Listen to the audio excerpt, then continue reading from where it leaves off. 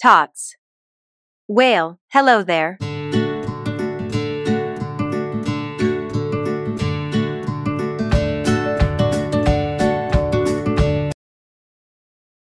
Tots has a big delivery today. It is a baby blue whale. Meet Wyatt, says KC. So much to cuddle, says Freddy. Who gets to deliver him? Pip asks. We will have a fly off to see who can lift the whale, says Captain Beakman. Do you think we can deliver him? Freddy asks. Anything is possible when we do it together, says Pip. The fly off begins. Ava is first. She pulls. She tugs. But she cannot lift Wyatt into the air. It is time for Bodhi to try to lift Wyatt. He pulls. He tugs. He falls. JP is next. He thinks this will be easy. JP flaps his wings. He pulls and pulls and pulls. But he cannot lift Wyatt. It is time for Pip and Freddy to try. They tie balloons to Wyatt. They put his baby pool on wheels.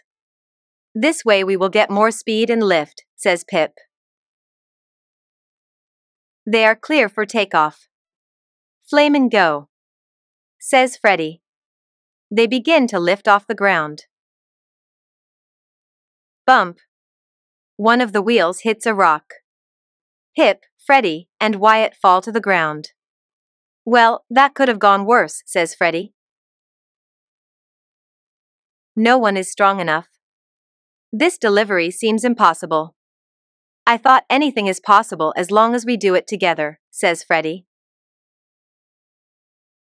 But we did, says Pip. If only we could do it more together, says Freddy. That's it, says Pip. This penguin has a plan. Wyatt is too big for one of us, says Pip. But not for all of us. Will everyone work together? Ava says yes. Bodhi says yes. But JP says no. I only fly alone.